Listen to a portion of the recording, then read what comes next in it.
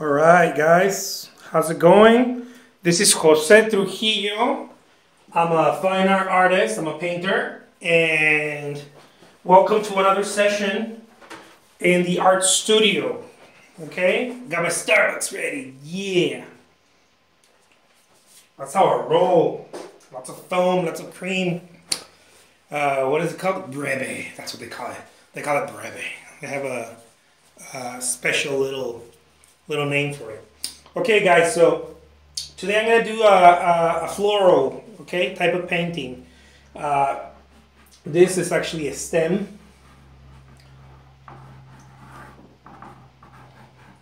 And just to you know, just to uh,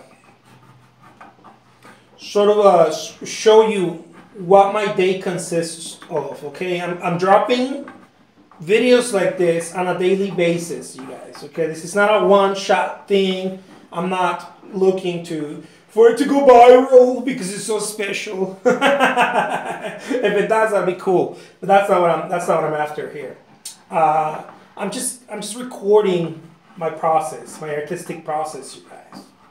Okay, and if it benefits someone, awesome. If it doesn't, well, cool too. You know, whatever.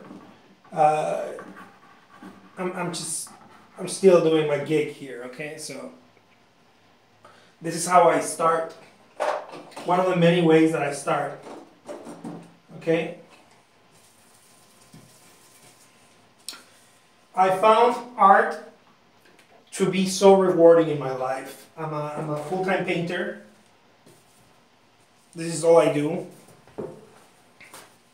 Uh, well, not, it's not the only thing that I do, but but I paint, I package paintings, I ship paintings. I, do a, a couple of little things, but but overall. Okay, so I'm going to use a magenta with a bright red.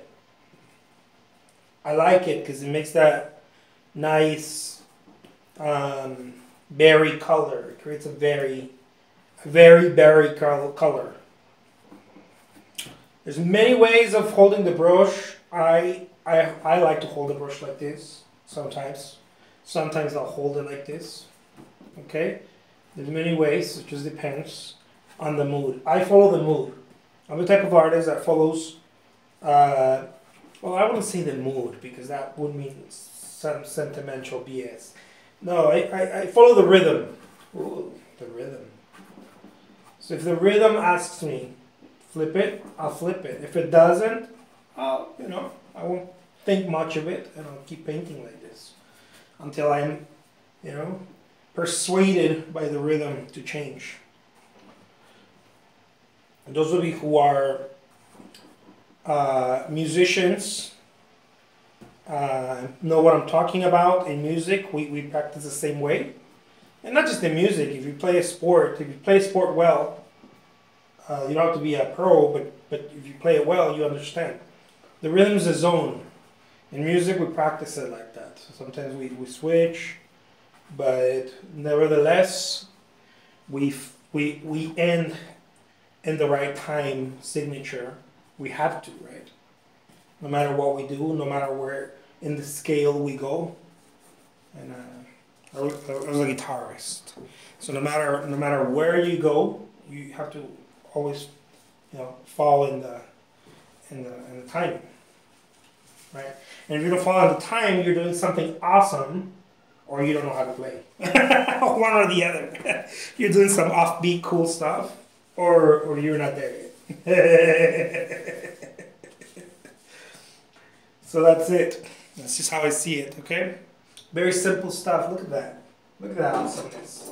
It's simple. It's not it's not complicated. It shouldn't be complicated. Now, I know you guys hear me, those of you who've seen my, my, my videos, you guys hear me talk about this a lot, how it's not complicated. And maybe some of you are like, "Why not complicated to you? Well, I, I, I get it, you know, but, but it shouldn't be complicated. Even if it doesn't come off, you know, whatever you're doing, however you're painting, if it doesn't come out uh, the exact way you want it, it's okay. It's okay. It shouldn't. I think, in my in my in my point of view, it shouldn't. If it comes out this, if it comes out this the exact same way, same way you want it, uh, this is how I see it. Okay, I'm not saying I'm not saying that this is how you should live your artistic journey, but the way I see it is if it comes out that way, how I envisioned it, I didn't do a very good job. It has to be more than what I envisioned, is what I'm trying to say.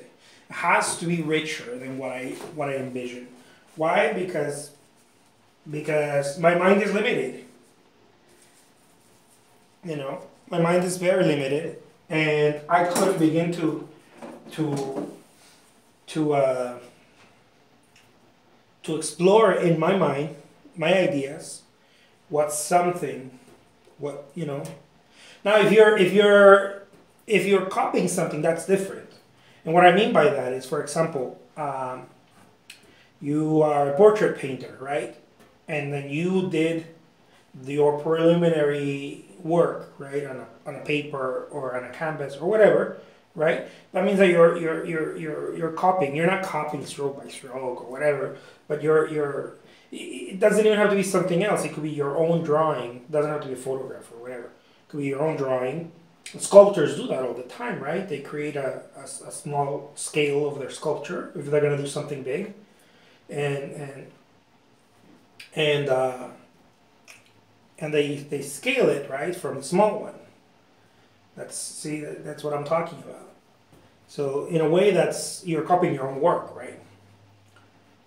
copy, copy such a negative word. People, people, um, you know what I mean. I'm not trying to say that that you're not being genuine. Of course, you're being genuine. It's your work. that people get caught up in this in those concepts.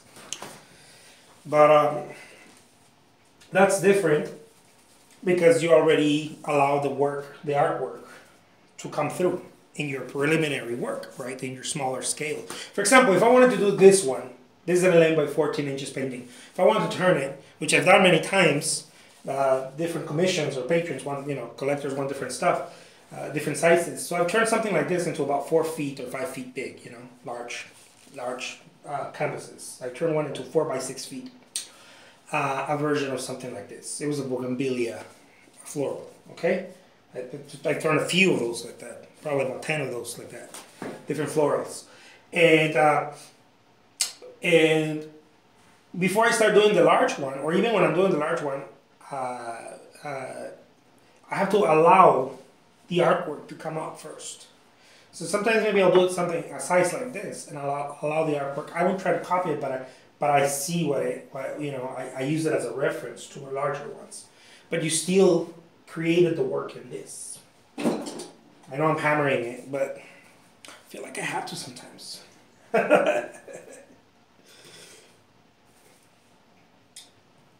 So you get it. Something like that. And it's good to figure out, you know, it's good to to to to to uh,